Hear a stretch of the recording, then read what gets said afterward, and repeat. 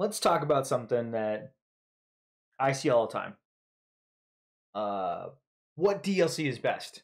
Is this DLC worth it? What comes in this DLC?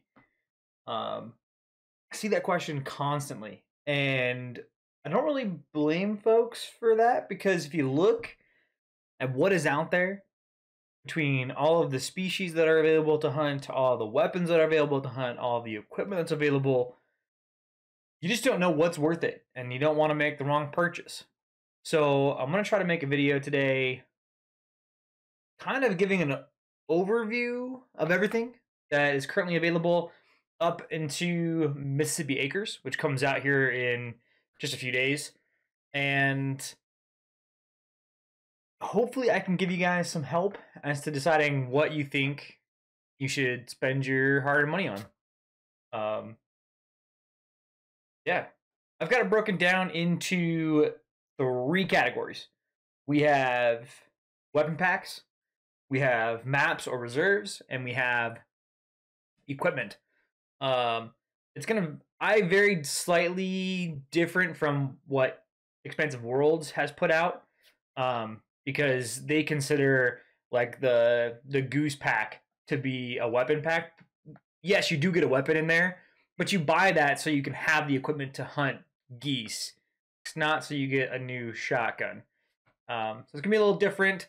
Um, I'm gonna try to make this video not 45 minutes long. Uh, we'll see. And this intro is already longer than I thought it was gonna be. So, um, yeah. Without further ado, let's get started with weapon packs. All right. So weapon pack number one is the 22 long rifle. It's a semi-automatic. You'll get a crossbow with a scope, as well as a recurve bow. Now, there is another DLC for a map that gives the opportunity to get the longbow if bow is your weapon of choice. But let's talk about the 22 long rifle for a second. It can hunt all of your small species, and it's great for plucking out rabbits, ducks. You can use it for turkeys. You can use it on geese, even. Um, it really is a shining star of this weapon pack, I would say. All right, so weapon pack two. This comes with the Grelck drilling gun, which you also get an optic for. You get the Mosin as your bolt action rifle, and you're also going to get a pistol, which kind of has a fun twist to it in weapon pack two. Um, some important things to know about this pack. So one cool thing that to note about the drilling gun is that you can actually hunt everything um, in the game with this one single weapon um, from level one to level nine. It has different um, shotgun shells you can use, um, like bird shots and slugs, up to a large caliber rifle, and you can do all of that with this one gun. Um, the Mosin is also weapon pack two. It's a pretty solid rifle. However, it's kind of overshadowed, overshadowed by weapons like the 30-06 or the M1. So last but not least is the 45 um, Colt revolver. Now this one's pretty cool. You can shoot your um, middle range leveled animals with this pistol as a pistol, but it also allows you to shoot a shotgun shell out of it, um, being the 410, um, which is pretty nice for shooting um, birds and rabbits, things like that that are a little bit smaller. Alrighty, so over onto weapon pack three, there is an air rifle that you get in this one. You also get the 30 6 and you get the 22 semi-automatic pistol. Um, kind of a fun pack. The 45 air rifle is going to allow you to um, shoot some of those small animals as well as some mid-range stuff um, with making less noise.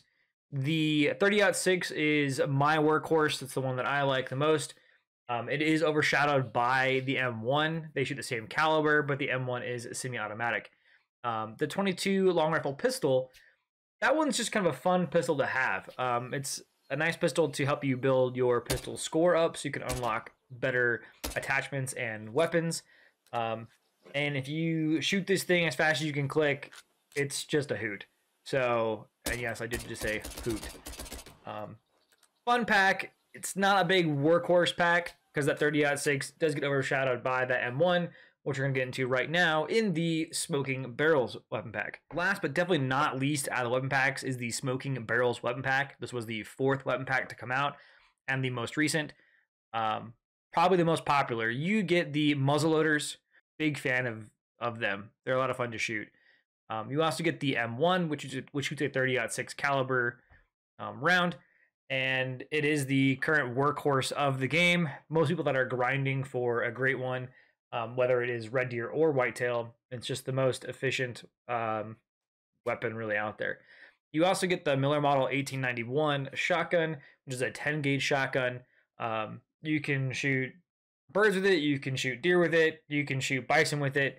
It is probably my favorite shotgun of the game. If you were going to pick one weapon pack to buy, this would probably the one I would suggest. The muzzleloader is just fun. The animations are cool. The guns look cool. Um, that shotgun does everything you need to do. It's a fun. It's got a fun animation. It's got fun sounds. It's just unique. And then the M1 is the workhorse.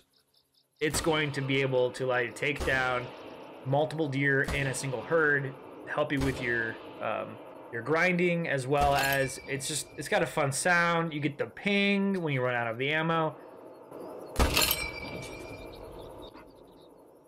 It's a solid weapon pack. Um, if you if I have an option for a second weapon pack to purchase, my suggestion would be weapon pack number one, and that's mainly because of that 22 long rifle and the versatility that it gives you to hunt those smaller game animals. Alrighty, so out of weapons and into maps, also known as reserves. The first important thing to know about reserves is you don't have to buy any of these to actually play them. You can go into multiplayer, you can hop into a server that has a map that you do not own, and you can still play on that map. Now, if everybody leaves that map that has that DLC, you have about 10 minutes, and then the server will close down. Um, however, if a buddy of yours has the map and you want to play with him, you guys can play for as long as you want together on a map, even though you don't own it. We're going to start off with Medved. Now, Medved was the first new map of reserve that um, was put out for Call of the Wild uh, as a DLC. And in my opinion, it kind of shows. Um, in Medved, you're going to have the opportunity to hunt the following wild boar, moose, and reindeer, also known as caribou, depending on where you're at. Um, and then a few map specific animals. These animals you can only find on this reserve, and that is brown bear, that is the Eurasian lynx, and that is the musk deer. Now, in my opinion, out of all of the DLC maps, this is probably my least favorite. Um, I find myself more often than nothing sitting alone in the cold wilderness. Man, it's cold. Not hearing anything, not seeing anything. Hello? Any animals out there? The musk deer are pretty cool. The lynx is what it is. Bears, there's lots of bears out there you can hunt, and you can hunt boar, the moose, and the reindeer slash caribou on other maps. Just my opinion. Take it for what it is. Alrighty, and sliding on into the savannah for map number two, Vurhonga Savannah. This is definitely one of my favorite maps that's out there. Um, you have a total of nine species that you can hunt on this map, and every single one is unique. You cannot find these animals anywhere else in the game. The nine unique species you have the opportunity to hunt are the scrub hare, side striped jackal, Cape buffalo, warthog, lesser kudu, springbuck, the blue wildebeest, gemsbuck, and the and the king of the savannah, the lion, which has a fur variant, which is one of the most coveted animals in the game, the albino lion. This map kind of has it all. It's got wide open plains for you to make longer shots. It's got some cover for make closer shots. It's got interesting animations with the springbuck, wildebeest. They do stampedes. Um, plus, you have the predator of the savannah, the lion. Definitely put Vurhonga Savannah on the top of your DLCs to purchase when you're ready to purchase maps. It's a good one. And one last thing I will say about the Savannah is by purchasing this DLC, you also gain access to the 470 Nitro Express, which is the largest caliber available in the game for a rifle. Alrighty, and on to the next map we're going to talk about is Parque Fernando. Now, Parque Fernando has seven animals in total, four which are unique. Um, let's start off with a red deer, puma, and mule deer as animals that you can hunt on other reserves as well, with the unique animals being black buck, cinnamon teal, axis deer, and water buffalo. Parque is a fun map. It has red deer and mule deer on the same map, which I enjoy. I like both of the species to hunt a lot. Water buffalo can be a lot of fun. They get aggressive and they'll actually attack you. And cinnamon teal are one of the coolest looking animals in the game, I feel. Um, just a very cool skin. The devs did a very good job with it. Um, it's a fun map overall. It's got an interesting species list. Um, kind of a middle of the pack. The for me, anyways. The landscape is pretty, but I think there's other ones that are better. Not a bad map, but I think I would still pick the Savannah over Parque.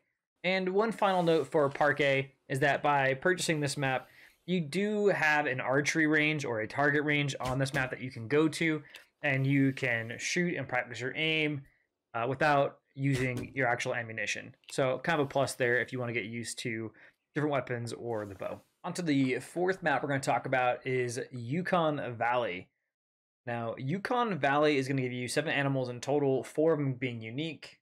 The animals you can hunt are moose, plains bison, and caribou or reindeer, however you want to call them. The four animals that are unique are the harlequin duck, the red fox, the gray wolf, and the grizzly bear. Now, Yukon Valley is interesting map for me. I love this map. Um, it's my favorite map to hunt moose on. Um, hunting caribou or reindeer is really fun. The plains bison, you can also find those on Silver Ridge Peaks or SRP. It really is an enjoyment to hunt. Um, it's hard for me to be critical about how they've laid this map out and how it looks especially when it snows. When it snows on this map, it's honestly just breathtaking for a video game. It's pretty crazy. Um, so if this is a species list that interests you, I would definitely put it at the top of the list for a potential purchase for you. And one last thing for Yukon is that purchasing this DLC, you gain access to the 300 Magnum. Um, it's a solid rifle for that middle to higher ranged animals, and it's just kind of a fun gun to have in your locker. Alrighty, the next map we're going to take a look at is Cuatro Colinas. Now, Cuatro Colinas is going to give you 10 animals in total to hunt, so lots of options. Six of them being unique. So the four animals that are available to hunt on Cuatro and other maps include the wild boar, roe deer, red deer, and European hare. The uh, six unique species to Cuatro include four ibex species the Gredos, the Site, Southeastern Spanish, and the Ronda ibex. The uh, last two unique species include the Iberian wolf and the Iberian mouflon. Now, Cuatro Colinas is probably my favorite map to hunt red deer on Cuatro also offers uh, a lot of terrain where you can see a good amount of distance. Um, this is going to allow you to make some of those longer shots as well as um, spot some of your potential targets further down range and then make your stock in. The four ibex species are interesting because they all look slightly the same but all slightly different, as well as there is a multi mount for the ibex, which is pretty cool. Um, if you get yourself an all a diamond one, just something kind of special. Also, by purchasing Cuatro Colinas, you do unlock uh, Martensson 6.5 millimeter bolt action rifle. Uh, this rifle allows you to have, you know, a little more variation in what you're using in the game, and some people really like the 6.5. Overall, if you enjoyed the species list and the idea of searching for all four diamond ibex to make your multi mount, this is a fun map. It's got a good species list and you can grind for the Great One Red Deer on this map. Our next stop brings us back to North America for Silver Ridge Peaks, or SRP. Now, SRP is going to give you nine total animals to hunt, three of which are unique. Of those nine, the six you can find in other maps include the puma, or mountain lion in this case, the mule deer, the plains bison, black bear, Merriam's turkey, bighorn sheep. Um, the three animals you can find only on Silver Ridge Peak include the pronghorn, Rocky Mountain elk, and mountain goat. Despite having many animals you can find on other maps, Silver Ridge Peaks is one of my favorites. It's laid out really nicely. It's got some really nice open terrain.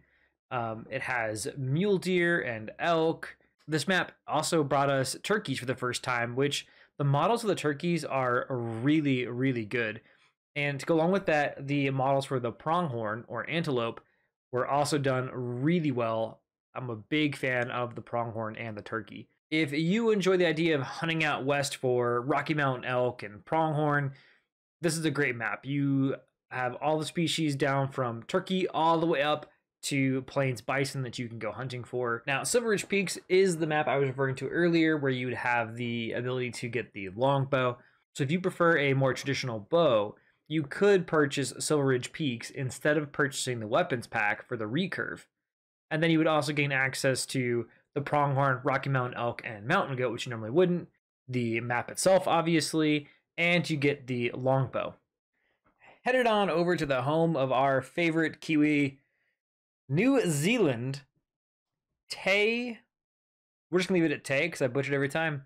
Now, this map provides us with eight animals we can hunt four unique to this reserve.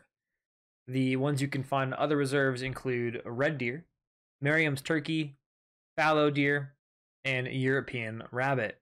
The four unique species only found on Tay are feral pig, sika deer, chamois, and feral goat. Tay provides a very wide range of environments to hunt in, from higher mountains down to rivers. This is one of the more popular maps to hunt red deer on at the moment um, during their nighttime drink because it seems to hold a lot of stag red deer.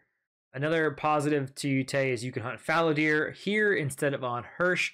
A lot of people don't like Hirsch, so this provides you another outlet for that. And Sika deer are just a pretty cool animal, in my opinion, to hunt. With the purchase of this reserve, you also get the 303. The 303 provides a decent range of middle class animals that you can hunt, and it provides a, a nice action and sound. Um, it definitely hasn't replaced either the 30-6 or the M1 in my opinion, although they do have some overlapping species if you like to hunt the 303 or you like the idea of having a range between rabbits and turkeys to deer and goats to hunt, Tay may just be the DLC map for you. Alrighty, so on to our last map or reserve before we get a little tidbit about Mississippi Acres, and that is Rancho del Arroyo. So, Rancho uh, provides a pretty sweet mix of um, animals that we can hunt. There's a total of nine animals, five of which are unique to Rancho. The four that are repeats are whitetail, bighorn sheep, mule deer, and coyotes, with the five that you can only find on Rancho being the Rio Grande turkey, Mexican bobcat, collared peccary, ringneck pheasant, and the antelope jackrabbit. Now, in case you're wondering, there is actually a difference between the Rio Grande turkey and the Merriams that you find on maps like SRP. The difference is very subtle, but they did change the model, which I do appreciate. Rancho provides a really nice lower to middle range of animals that you can hunt, from antelope and the pheasants up into your deer species.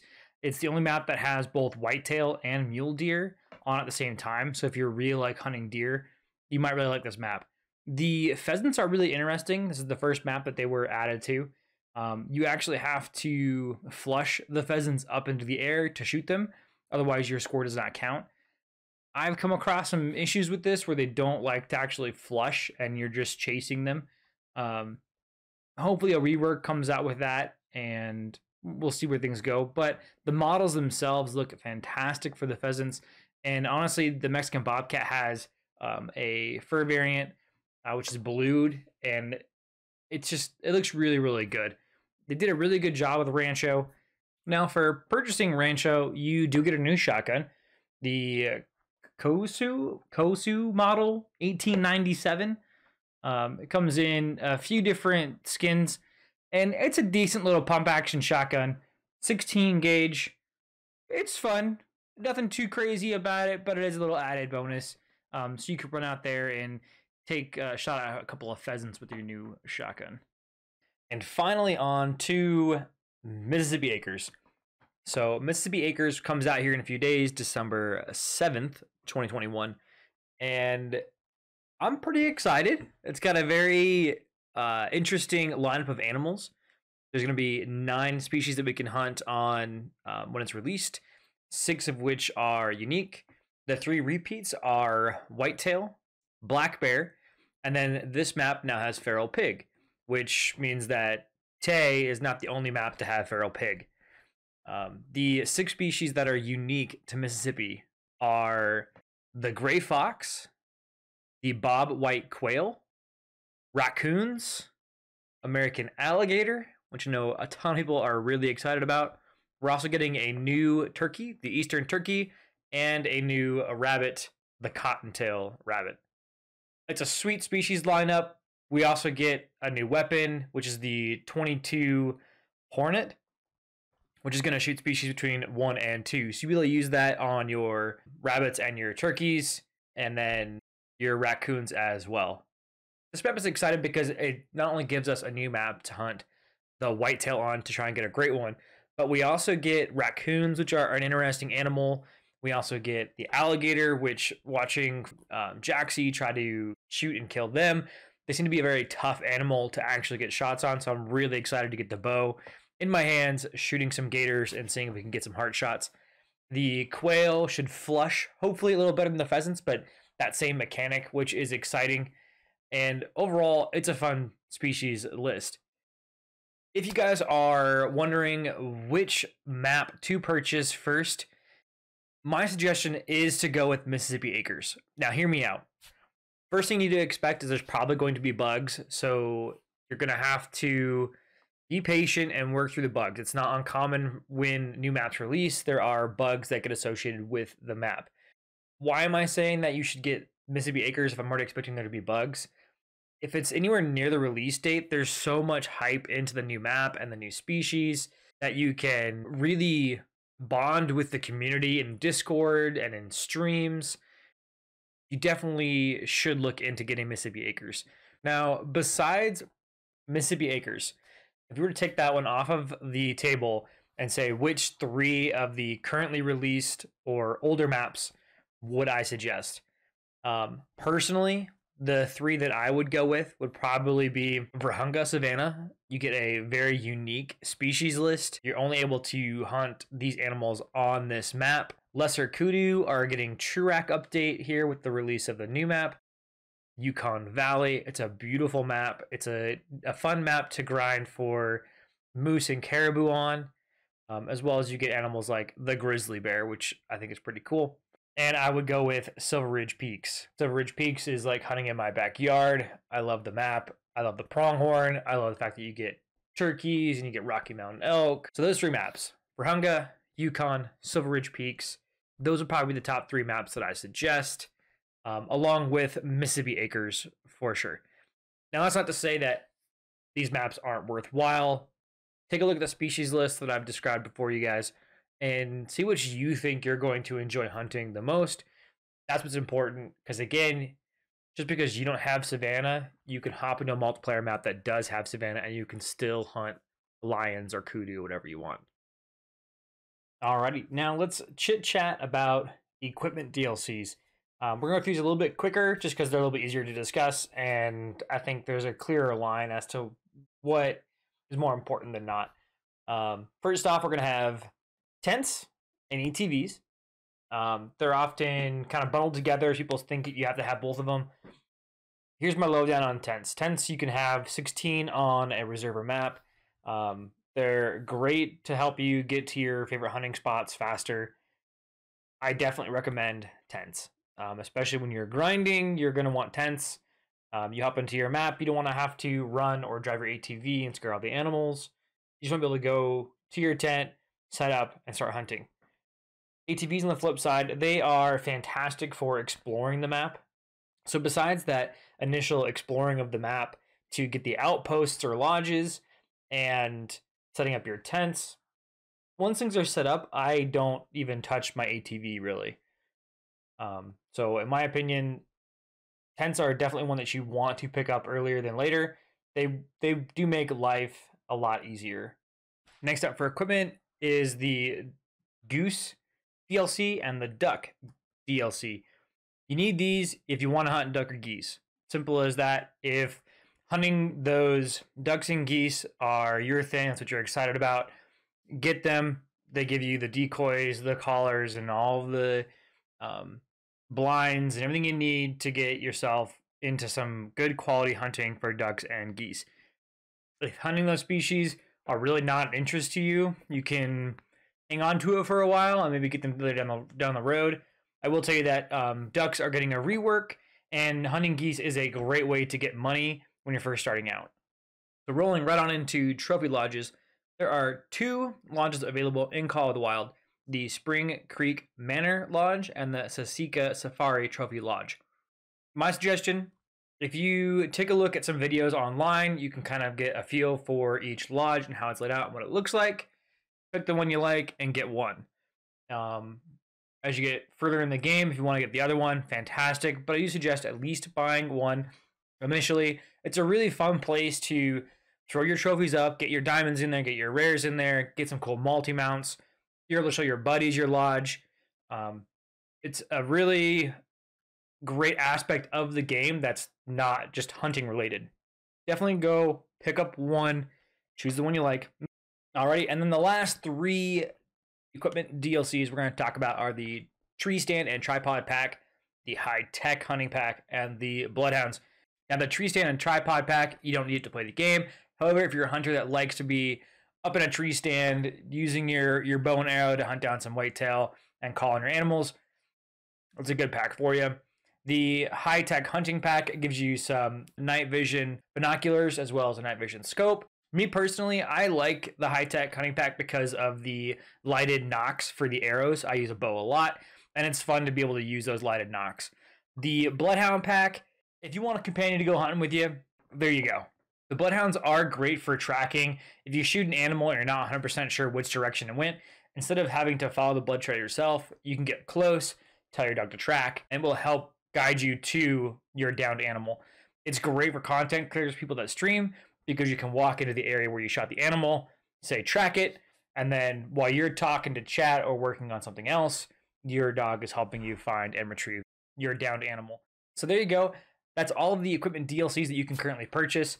Again, my suggestion grab the tents and ground blinds, grab one of the trophy lodges, and then if hunting geese and duck is your thing, grab those DLCs. The other ones can wait if you don't have the money to do it right away. They're, you're not missing anything absolutely incredible out of the game. Um, but the tents and the trophy lodge does make the game better overall. All right, so there you go. I, I know it was a long one. Thanks for sticking through it. It was a lot of information to cover. Um, but yeah, again, I guess if if EW were to make a Brandon's best buys um, of DLC currently. Um, you'd be spending about 20 bucks, maybe $25 if you include the new map. And that's going to get you a weapon pack number one for the 22 long rifle, the smoking barrels pack for the M1 and the muzzle loaders. You're also going to get uh, three maps. You'd get, or four if you get the new one. Um, Savannah, Yukon, Silver Ridge Peaks, and Mississippi, the new one. Um, and then you're also going to get yourself some tents and a trophy lodge to go along with that. So all of that would be about 25 bucks. And that's mainly because the new map is going to be about seven, eight dollars when it comes out. If you were to get rid of the new map and just buy uh, the suggestions I've made, less than twenty dollars. You're gonna get yourself two weapons packs, threes mat. you're gonna get yourself two weapon packs, three maps, and ATVs plus a trophy lodge. There's a lot out there that this game offers. My suggestion jump in, purchase the DLCs that you A can afford and B that you're most excited about, play them, test out other maps in multiplayer servers before you buy those ones, and make sure you like them. Um, you know, hop into the Discord, check out other streams. Um, both TK um, True Kiwi and Jaxy both stream as well as their community uh, managers with EW. Great people to hop into their streams and just see how they enjoy the game. They're likable dudes, help you out wherever they can. Um, hop in their discords, hop in EW's main discord. I'll put links to all three of those down below in the description, um, as well as my discords down in the description as well. But thanks again, you guys. Hopefully, this helped you out a little bit. If it did, I would love it if you would like or subscribe or leave a comment. Let me know if you disagree or agree with my suggestions for these DLCs. I just really I talk a lot with my hands. So there you go, you guys. Get out there, enjoy life, go hunting, hop into a Discord, be a part of the community. It is growing. Just found out today that um, we've added over 10, we have over 10 million active um, hunters now in the game, which is absolutely fantastic. There's a lot of folks out there to go on hunts with and share your stories. So yeah, I'm gonna wrap it up there. Everybody, thanks again. Get out there, go hunting, enjoy life. Take care.